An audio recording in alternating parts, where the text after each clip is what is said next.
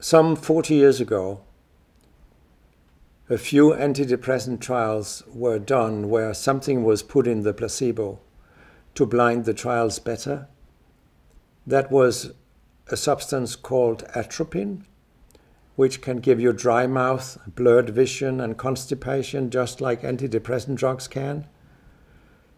And when you put something in the placebo and you can't guess whether people are on drugs or placebo, you don't see an effect of antidepressant drugs. You can put almost anything in a pill as long as it has side effects. People will tend to say that it works for depression. And if it doesn't have many side effects, they will say it doesn't work because they can't feel they get anything.